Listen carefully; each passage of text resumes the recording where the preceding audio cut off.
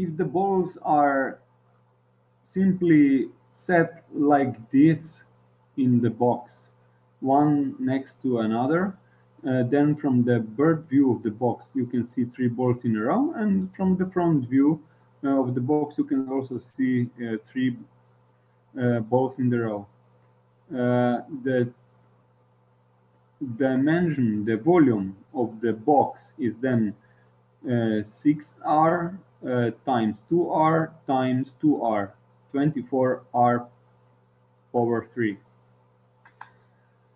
the volume of the sphere, so Vs, is the 4p r over 3 divided by 3, and the volume of the air between the balls and uh, uh, between the balls and the and the box is actually we subtract from the box the 3 times volume of the spheres. So when calculating, you get 100.34 uh, cubic inches. Thank you.